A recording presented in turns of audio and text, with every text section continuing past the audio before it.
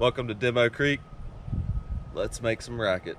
Regardless of what the media says, a silencer does not make a gun completely silent. You still have to wear ear protection.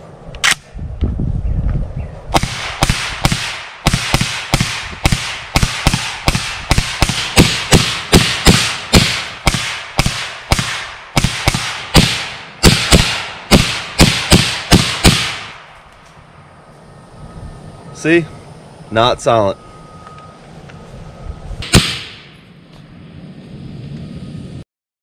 Thanks for checking the video as always, and don't forget to subscribe to Camo 4x4s on YouTube.